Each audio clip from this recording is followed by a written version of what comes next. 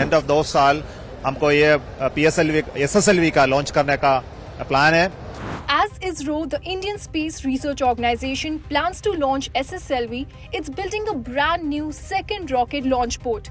The new launch port is situated at a geographically advantageous location in Tamil Nadu's Kulasekarapattinam. The facility costs a whopping rupees 986 crores.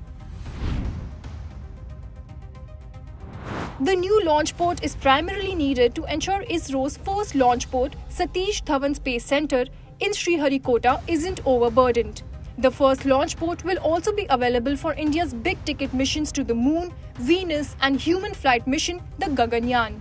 But with the government's recent policy opening doors to private players, an increase in commercial launches are certain.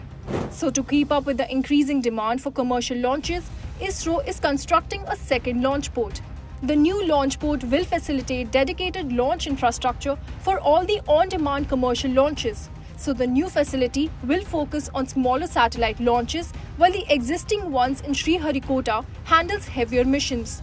This move ensures better efficiency and prevents overburdening of the existing launch site. The new launch port offers a strategic advantage due to its coastal location and proximity to the equator. This means shorter launch trajectories and more fuel efficiency, perfect for small satellite launches. Notably, both the launch ports are located in southern India near the equator.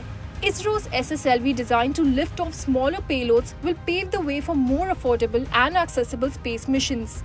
The Tamil Nadu government has completed the acquisition of over 2,000 acres of land, which has now been handed over to ISRO. With construction underway and completion expected in about two years, this new launch port will be able to handle around 20 to 30 launches annually. For more informative videos like this, keep watching India Today Newsmo.